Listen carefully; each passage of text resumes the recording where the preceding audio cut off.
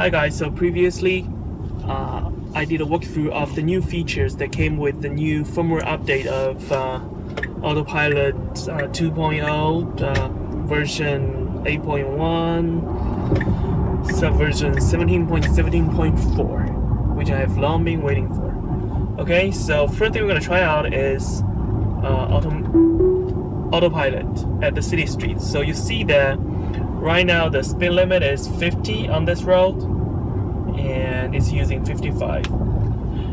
Um, that seems okay. Wait, but now the speed limit has changed to 55, but it's still 55. It didn't change with the the speed limit of the road. So I doubt how that works. Is that gonna change on the fly or not? We'll see. Um, okay. Uh, right now, uh, with 55 or higher uh, speed limit at the roads, one advantage of that is whoa whoa whoa whoa whoa whoa whoa whoa whoa shoot shoot shoot shoot shoot shoot shoot shoot shoot shoot shoot Woo! I don't know if if, if it can handle it, but I don't want to risk it. Okay, holy shit, that was like, cause it it, it was a because it was a slope going down it was like driving at 55 miles per hour. It's not slowing down at all. And uh, I really doubt if I don't press it am I gonna make it or not. I don't want to suffer the loss. So I think the new update is really awesome because um,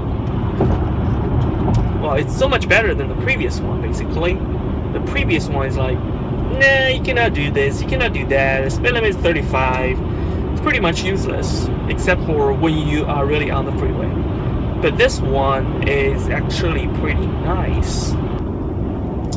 Um, autopilot is working perfectly. That's nice. And uh, I just turned the speed limit to 90.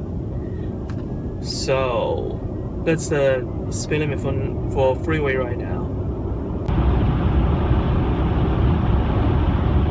Guys, I have to admit that I really enjoy this new update. At least, at least right now for um, for autopilot. Emergency brake haven't worked for me yet. I got emergency chimes I don't get emergency braking. Okay, it's pretty stupid. I, but I don't get the braking.